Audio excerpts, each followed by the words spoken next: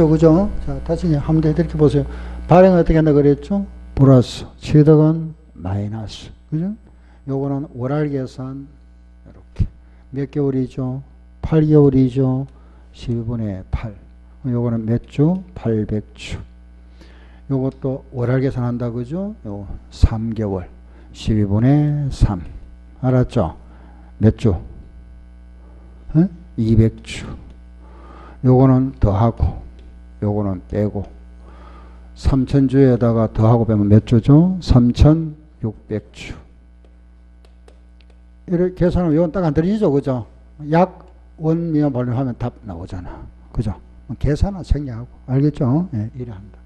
자, 이제 마무리 할게 보세요. 그러면은 주당 순위 구할 때는 결국은 그죠? 요거 구하는 게 포인트죠. 그죠? 예, 요거 구한다. 그죠? 그러면 이거 구할 때 자, 이거 보세요. 발행은 발행은 어떻게 했죠? 플러스. 그죠? 취득은 뭐하죠? 마이너스. 알았죠? 발행은 더하고 취득은 뺀다. 그런데 이제 시험 문제가 나오면은 요 말을 바꾸어서 이렇게 하기도 합니다. 발행했다. 이걸 우리는 유상정자다 이래 했다 이래 표현합니다. 알았죠? 주식을 발행하면 자본금이 증가되거든요. 그래서 말을 바꾸어 가지고 유상정자했다 이라고요. 유상정 같은 말이다. 그럼 만약에 유상정자 나왔다. 아 정자구나 이래 하시면 됩니다. 알겠죠? 발행 알았죠? 취득은 자기 주식. 요말 나오면은 취득이다. 아 플러스 마이너스 알았죠? 요거는 뭐 하더라? 월할 계산한다. 그죠? 월할 계산한다. 그죠? 월할 계산 음, 12분의 9, 12분의 4 이런 식으로 월할 계산한다 하는 것만 알면 되죠. 요게 주당 순위 구하는 거다. 알겠죠? 예, 알았다. 아, 이렇게 우리가 재무제표를 분석하는 겁니다. 그러면 한 주당 이익 나온다 그죠? 주당 이익 구하라 하면은 요래 구하면 되죠.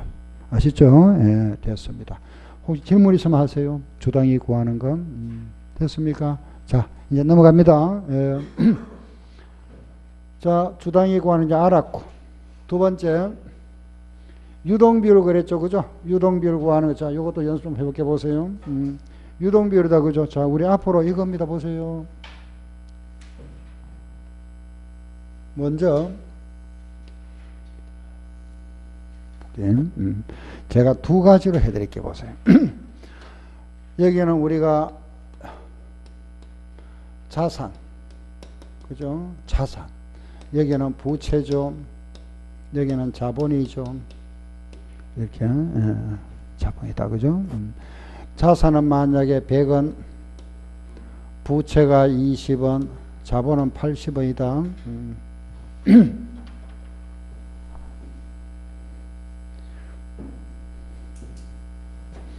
네, 요걸 제가 하나 더 그릴게요. 조금 더 이제 요걸 이제 다시 이런 식으로 해볼게요. 내는 같은 모양인데 요거 요번에 마찬가지 대재무 상태표인데 자산 이제 구분한다 그죠? 이걸 이제 우리 유동 자산과 비유동 자산 이렇게 유동과 비유동의 구분 기준이 뭐죠? 1년, 1년, 1년. 알아죠? 1년. 1년 내에, 우리가 1년 내에 팔거나 회수할 수 있는 거, 돈으로 회수 가능한 걸 뭐라 한다? 유동자산. 1년 후, 1년 후에 현금화할 수 있는 거는 뭐라 한다? 비유동자산합니다. 알겠죠? 건물 같은 거는 비유동이잖아. 알겠죠? 요거는 1년 기준이다. 알았죠? 1년. 음. 그럼 부채도 마찬가지 내가 요래 구분할 수 있다. 그죠? 유동부채와 또 무슨 부채? 비유동부채. 요거는 갚을 빚이잖아. 1년 내에 갚을 빚을 뭐라고? 유동부채. 1년 후에 갚을 빚을 뭐라 한다? 비유동부채. 알겠죠? 1년 내에 갚을 빚. 1년 후에 갚을 빚이다. 그죠? 알았죠? 예. 그리고 자산에서 부채 보면 이게 뭐가 된다? 자본이다. 그죠? 자본. 음. 그럼 이제 요걸 우리가 구분할게요. 100원 중에서 예를 들어서 그죠? 예. 요 100원 중에서 유동자산은 예를 들어서 40원이고 비유동자산은 예를 들어서 60원이다. 100원 중에서 구분할 수 있잖아. 그죠? 그럼 부채도 만약에 그죠? 요 유동 부채는 만약에 10원이고 뭐 비유동 부채도 10원이다. 자본은 80원이다. 그죠? 합계가 100원 이렇게 장부가 이래 돼 있다. 그죠? 이런 식으로 돼 있다. 알겠죠? 이래 돼 있다. 음. 자, 요것을 먼저 한번 보세요. 음, 요것서 첫째 우리 회사 자본은 몇 프로일까요? 자본 비율은 몇 프로입니까? 80% 맞죠? 그죠? 80% 맞죠? 자본 비율 하는 거는 요 자산의 여기에 차지하는 비율 100분의 80이니까 몇 프로? 80% 알겠죠? 80% 맞습니다. 예. 그럼 자 두 번째 부채 비율은 몇 프로일까요? 예? 자금 자본 비율은 80%면 부채 비율은 몇 프로? 예? 20%. 요거는 틀렸습니다.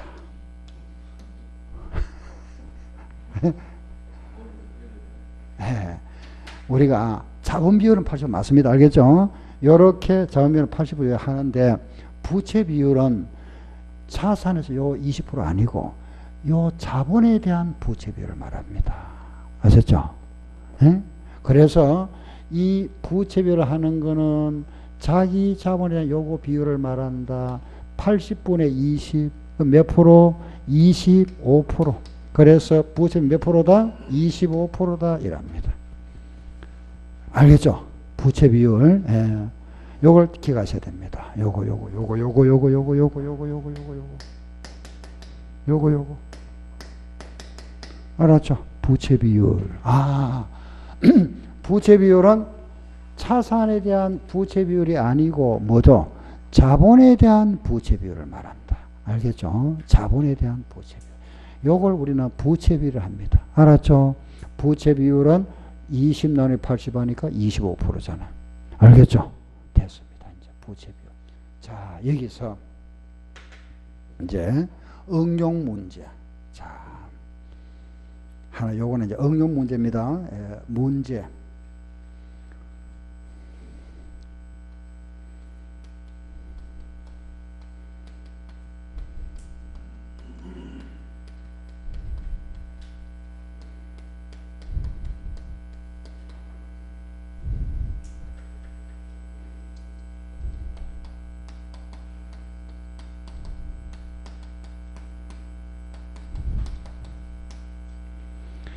기말 상품 재고액이 과대 실제보다 과대 계산됐다 그죠?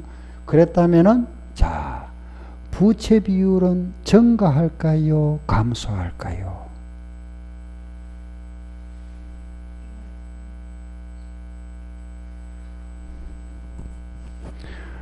기말 재고 자산이 커졌습니다. 그죠? 자산이 커지면은 자산이 커지면은 예, 자산이 커지면은 자본 비율은 증가할까요? 감소할까요? 부채 비율은 증가할까요? 감소할까요? 한번 계속 한번 생각해 보세요.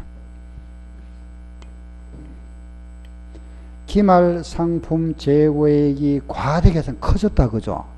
그럼 기말 상품 재고라는 거는 기말 상품이라는 거는 무슨 계정이죠? 자산. 요게 커졌다 실제보다. 이게 커지면 뭐가 커지죠? 그렇지 이게 커지잖아. 그죠? 이게 커집니다. 이게 커졌다. 그죠? 요게 커졌어. 요게 커졌다. 그러면 요거 비율은 어떻게 될까요? 부모가 커지마. 이거는 그대로 있는데 요게 커져버리마. 부모가 커지마. 이건 어떻게 되고? 줄어들지. 그죠? 이거는 그대로 이게 커져버려서 막. 자, 다시 보세요. 상품이라는 자산이 커졌다 그랬잖아. 그죠? 그죠? 자산이 여기 커졌습니다. 여기 커지면은 이게 커지잖아. 그죠? 맞죠? 보세요. 자산 마이 저래봐도 되고 자, 자본이잖아. 우리 이거 알고 있잖아. 그죠? 이게 커지면 이거 커지지. 이건 아무 영향 없잖아, 부채. 내가 돈을 벌었는데 빚이 늘어나는 건 아니잖아. 그죠? 그죠? 그래서 다시, 다시 볼게요. 보세요. 기말 상품의 자산이 여기에 커졌다. 여기에 커지면 여기 어떻게 되고? 커지고. 여기에 커지고. 요거는 그대로 있으니까 요 비율 어떻게 된다? 감소하지. 그죠? 부모 커져. 요거는 부채 비율은 감소. 작아진다. 알겠죠? 작아진다. 작아지잖아. 알겠죠? 작아졌다. 자원 비율 어떻게 될까요? 자원 비율은? 자원 비율 어떻게 될까요? 응? 그대로, 그대로입니까? 그 이런 걸 우리가 항상 이래 머릿속으로 생각하자. 헷갈려요. 그죠? 근데 간단한 내용이잖아. 그죠? 어려운 게 아닙니다. 보세요. 자, 숫자 한번 볼게요. 보세요. 잘 모르겠거든. 숫자였어요. 숫자. 보세요. 자산은 10원이다. 그죠? 부채는 3원이다. 자본은 7원이다. 요거는 지금 자본 비율은 몇 프로? 몇 프로죠? 70%잖아. 그죠? 맞죠? 자, 자산이 증가합니다. 여기 이런 늘어난다. 여기 이런 늘어나다 하면 11은 되잖아. 요것도 이런 늘어나죠? 얼마? 8은 됐잖아. 자, 11분의 8은 몇 프로? 70, 에? 72%. 어? 늘어났네. 요거는 똑같이 해도 10분의 8하고 10분의 8은 다르잖아. 그죠? 아까 우리가 10분의 7하고 10분의 8은 다르죠? 다릅니다. 그죠? 12분의 9하고도 다르죠? 요거는 같이 늘어나더라도 이게 비율이 다르잖아. 그죠? 이것도 뭐 된다? 증가하지. 이거는 증가하잖아. 맞죠? 알겠죠? 증가한다. 음. 자, 그래서 이상 이래서 음, 아무튼 일단 부채 비율은 작아지다. 알겠죠? 그죠? 이해되죠? 예. 얼굴 인상 편안하게 하세요. 너무 인상 쓰지 말고. 예. 자, 이제 여기 와서 좀 편안하게 생각하세요. 너무 어렵게 막 심각하게 듣지 말고 그냥 우리 뭐 아는 상식인데 뭐 그죠? 음. 긴장하지 마세요. 그냥 긴장 풀고 편안하게 하세요. 자, 이거 보세요. 두 번째 저게 이제 우리 이거 이거 이거 끝났다 그죠? 요것도 알았고 요것도 알았잖아. 그죠? 요거 요거 요거. 유동 비율 분석입니다. 알겠죠? 유동 비율. 그럼 유동 비율이 뭐냐? 요거는 요거는 막 유동 바로 적을게요. 유동 비율이 뭐냐? 요겁니다. 보세요. 이거는 그냥 기억해 버리세요. 유동 부채에 대한 유동 자산의 비율을 말합니다. 알았죠? 유동 부채에 대한 유동 자산의 비율이다. 알겠죠? 예. 유동 비율은 뭐분의 뭐, 뭐분의 뭐라 그랬습니까? 자, 다시 한번 적을게요. 유동 비율은 뭐분의 뭐다? 유동 부채 분의 유동 자산. 알았죠? 유동 부채는 유동 자산이다. 그럼 이거는 몇 분의 몇? 어? 4분의 10이지. 그죠? 유동 부채분의 요거 분의 요거라 그랬잖아. 아, 4분의 40. 알겠죠? 그죠? 4분의 40. 알겠죠? 예. 유동부채분의 유동자산이다. 알았죠? 음. 유동, 이거 분의 이거, 이거 분의 이거. 그래, 이거 분의 이거. 제가 뭐라 합니까? 제가 사고를 해야겠다. 10분의 40을 들으세요. 그냥. 요거분의 요거 알겠죠? 10분의 40, 그죠? 예, 4다, 그죠? 10분의 4. 자, 이거 보세요.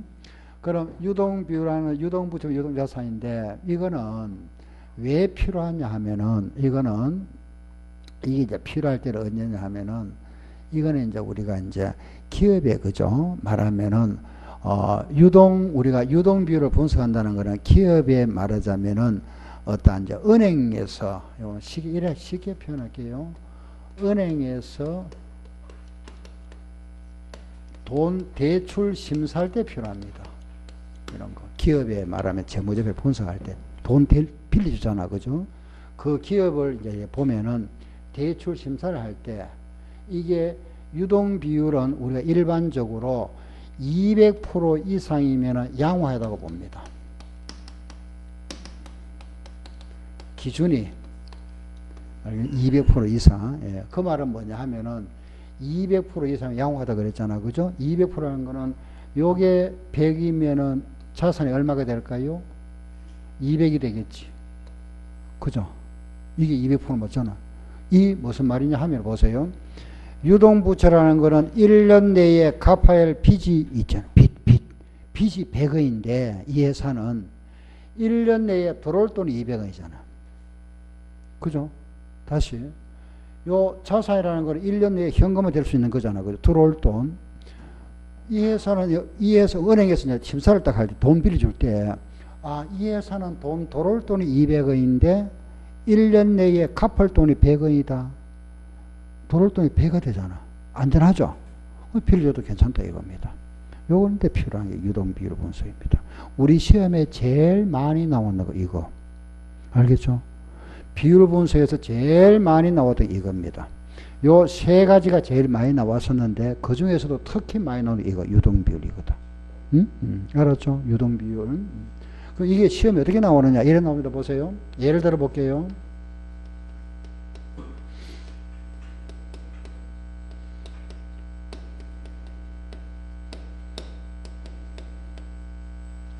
이런 식으로. 유동 비율이 1보다 크다 이라 그죠? 유동 비율이 1보다 크다 그랬죠. 그죠? 이 무슨 소리죠? 1보다 크다 말은 무슨 말이죠? 예? 그렇죠. 분자가 더 크다는 말이잖아. 이쪽이 크다는 말입니다. 그죠? 여기 1보다 적으면은 이게 크다는 말이잖아. 그죠? 그래서 우리는 앞으로 이런 표현이 나옵니다. 문제에서 1보다 크다 하거들랑 알겠죠? 이런 조건이 주어지거들랑 우리는 그냥 쉽게 합니다. 쉽게 어떻게 하느냐? 2분의 4로 두자. 숫자 알겠죠? 4로 두고 만약에 반대로 1보다 크다면 요래 두고 1보다 작다 하거들랑 4분의 2로 하자. 알겠죠? 이렇게 간단하게 이해하세요. 알겠죠? 다시 우리가 하는 요령 요령 유동 비율이 1보다 크다 이런 문제가 주어지거들랑 우리는 뭐라 한다? 2분의 4 요래 두고 1보다 적다 하거들랑 뭐라 한다? 4분의 2 이런 식으로 하자. 알았죠? 예, 이런 식으로 풉니다. 자, 지금 이제 문제 만들게요. 보세요. 유동 비율이 1보다 클 때 상품 50만 원을 외상으로 외상으로 매입했다.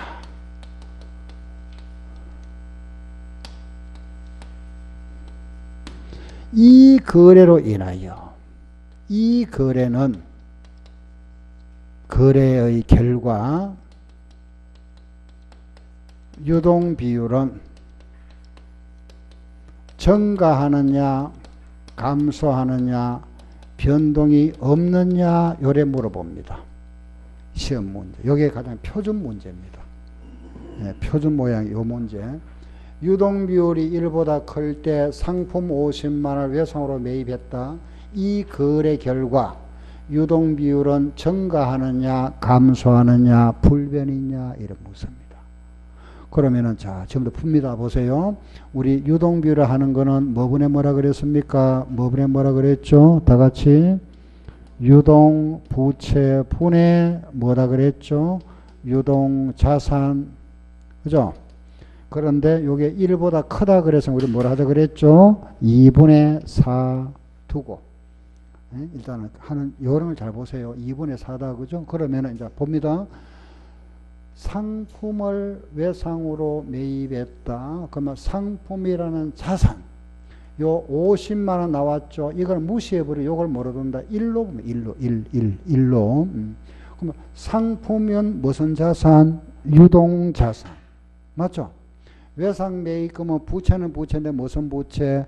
유동 부채입니다. 그러면 상품이라는 자산은 증가했죠. 외상으로 사왔으니까 부채도 증가했죠. 상품이라는 유동 자산은 일원이 증가하고 외상매입금이라는 유동부채도 이런이 증가했다. 그죠? 그죠? 자산 증가, 부채 증가니까. 자산이 이런 증가하고 부채 이런 증가했다. 그 결과, 그 결과 4원에서 이런 다음 얼마? 5원. 2에서 1 다음 얼마? 3원 됐죠. 자, 이제 분석합니다. 2분의 4가 뭐로 바뀌었죠? 3분의 5로 바뀌었잖아. 그죠? 증가했습니까? 감소했습니까? 예?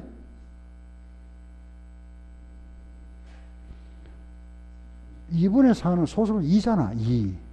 2가 3분의 5 나누기 3은 얼마? 1.6이 됐죠. 2가 1.6이 됐으니까 뭐죠? 감소. 정답. 그죠? 알겠죠? 요거 우리가 원래 우리가 이제 그죠? 우리가 중 우리가 중 둥거고 크다 했을 때 2가 5 나누기 3 1.6이잖아. 2가 이미 바뀌니까 감소됐잖아. 알겠죠? 이렇게 분석하는 게 비율 분석입니다. 자, 하나만 더 할게요. 음, 보세요. 자, 이번에 여러분들 한번 해봅니다. 자, 예제 1번, 2번. 유동 비율이 1보다 적다. 적을 때 외상 매입금, 외상 매입금 30만 원을 현금으로 지급하다. 이 거래는 이 거래는 유동 비율을 증가시키느냐 감소시키느냐 변동이 없느냐 물었습니다. 한번 해보세요. 유동 비율이 1보다 적다 그랬습니다. 조건이 유동 비율이 1보다 적다 그랬습니다. 적을 때 알겠죠? 외상 매입금 30만 원을 현금으로 지급한 거래는 유동 비율을 증가 또는 감소, 불변 어느 거냐 물어봤습니다. 한번 해보세요.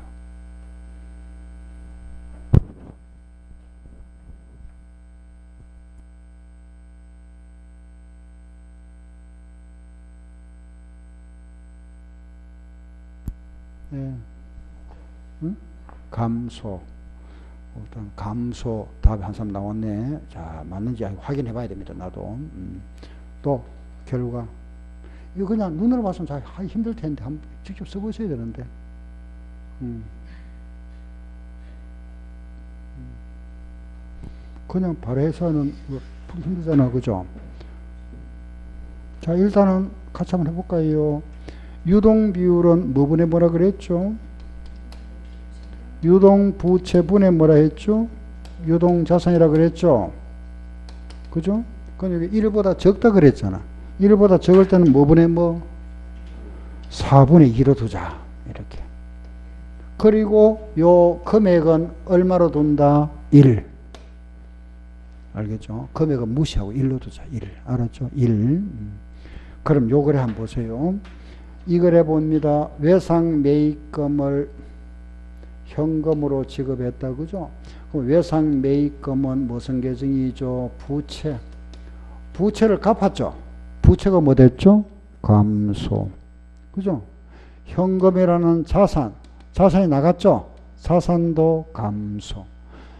부채 감소, 자산 감소됐잖아. 그렇죠? 이건 이해되죠? 이 부채는 유동부채. 이 현금도 유동자산. 맞죠? 예, 그래서 그러면은 자산은 이런이 감소하고 부채도 이런 감소했다. 그죠? 감소 이런 식. 그럼 결과 자산 얼마? 1원. 부채 얼마? 3. 증가했습니까? 감소했습니까? 감소 맞네. 정답. 맞죠? 정답. 왜? 4분의 2는 소수로 고치면 0.5잖아. 0.5가 3분의 1이라는 거는 0.3으로 바뀌었잖아. 그죠? 0.5가 0.3이 되었으니까 줄어들었잖아. 감소. 알겠죠? 감소. 예, 답이 들어. 이래 하는 겁니다. 비율 분석. 자, 하나만 더 할게요. 자, 이번에 세 번째. 네, 세 번째, 음, 이번에. 유동 비율이, 유동 비율이, 예, 유동 비율은 1이다. 자, 1이다 그들랑 그냥 두세요. 4분의 4로 하세요. 알겠죠? 같다. 그죠? 1 하면은 4분의 4. 우리 그냥 2분의 2 해도 됩니다. 4분의 4 해도 우리 그냥 편의상. 크다 하면은 뭘 한다? 2분의 4. 작다 하면은 4분의 2. 같다 하면은 4분의 4. 알겠죠? 1이다 하는 게 같다는 말이잖아. 그죠? 같다. 알았죠? 같다. 음. 건물 100만 원을 매입하고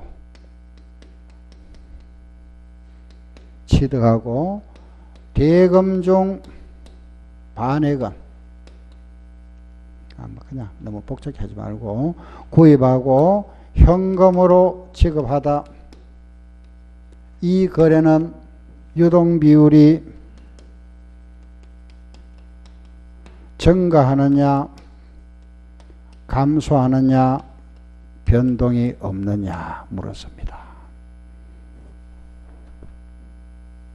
내가 샀다고 그죠? 현금 현찰 주고 샀습니다. 이 거래다. 그럼 이 비율은 증가하느냐 감소하느냐 물었습니다. 그럼 일단은 우리가 자 유동 비율을 물었으니까 유동 비율은 뭐 분의 뭐라 그랬습니까? 유동 부채 분의 유동 자산. 그렇죠? 자산. 예, 됐죠? 그죠? 그래 지금 조건이 뭐죠? 유동 비율은 뭐라 그랬죠? 1이다 그랬잖아. 1. 뭘 하자? 4분의 4. 됐죠? 됐다 그죠? 음. 자. 글을 보세요. 건물을 구입하고 현금을 지급했다. 건물에는 자산은 뭐가 됐죠? 자산은 뭐가 됐고 증가. 맞죠? 그죠? 현금이라는 자산은 뭐가 됐다? 감소. 그죠? 그런데 이 건물은 무슨 자산? 비유동 자산이잖아. 그죠? 요거는 무슨 자산? 유동 자산. 알겠죠? 그럼 우리가 지금 구하는 거는 유동 자산 아니면 유동 부채만 가지고 해야 되잖아. 이거는 비유동이니까 안 하죠. 요거는 1, 1, 1이고 이거는 필요 없다. 그죠? 요거 보세요. 자산만 1원이 감소됐다. 끝. 끝났잖아. 요거는 뭐니까? 비유동 자산이니까 필요 없고. 알겠죠? 이거 얼마? 3. 이거 얼마? 4. 결과는 4분의 4가 4분의 3으로 바뀌었으니까 뭐가 됐다? 감소. 알겠죠? 이래 하는 겁니다. 이해되죠? 이게 유동 비율 분석. 오늘 우리 비율 분석에서 그죠? 재무적의 분석 또는 비율 분석을 합니다. 주당 순위, 그죠? 부채 비율, 그리고 유동 비율까지 했습니다. 여기까지 하면 이제 우리 재무회의가 딱 끝났습니다. 여기 이제 우리 임무과정, 여기 이제 조금 더 이제 또 다음 이제 어, 달부터는 어, 좀더 깊이를 더 하죠, 그죠? 예, 이제 조금 심화 과정해서 조금 더 또 자세하게 복습, 기초도 하면서 기초 다시 또 복습, 다시 또 반복하면서 조금 더 이제 깊이를 좀 더 합니다. 알겠죠? 좀 폭을 넓히고. 알겠죠? 예, 오늘 이래 해서 그 지난 2개월 동안 수고하셨습니다. 과정 마치겠습니다. 예.